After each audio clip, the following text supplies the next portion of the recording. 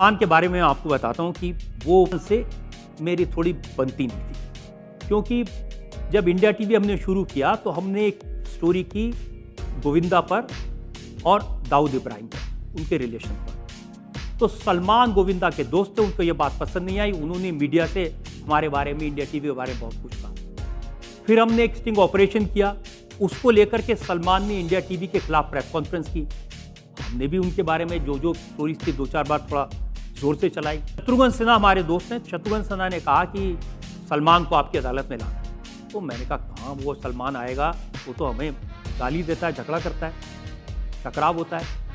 नहीं नहीं, मैं लेके आऊँगा भाई सोनाक्षी फ़िल्म है तो सोनाक्षी को भी आपको आपकी अदालत में आना पड़ेगा। मैंने कहा, सोनाक्षी को तो दो मिनट के लिए ले सकता हूँ, लेकिन प्रोग्राम तो सलमान पर सलमान खान ऐसे आए।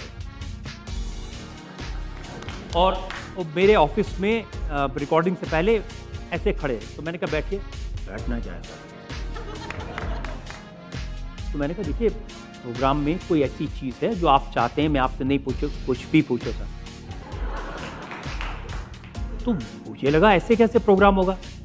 अब मैंने ऋतु जी से कहा कि भाई ये तो बड़ा मुश्किल हो रहा है। तो इन्होंने एक आइडिया दिया इन्होंने कहा कि ये शो के अंदर भी टेढ़ा हो सकता है। इसका कुछ भरोसा नहीं है। तो तुम ऐसा करो शत्रु जी को इसमें जज बना दो बहुत रेस्पेक्ट करता है, उनके सामने सीधा रहेगा, ये कि आप इसमें जज ना हाँ बैठ जाएँगे। तो वो जज बन गए। मान उसमें, कटघरे में आके भी ऐसे खड़े हो गए। तो मैंने कहा, बैठिए। ठीक है, सर। तो मैंने शत्रु जी तरफ़ देखा शत्रु जी कहा, खामोश! मुजरिम अपनी सीट पर बैठे।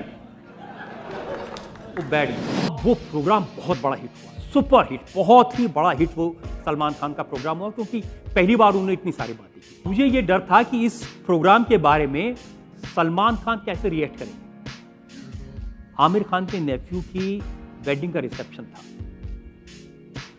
तो मैं अनिल कपूर और जैकी श्रॉफ के साथ खड़ा हुआ बात कर रहा था।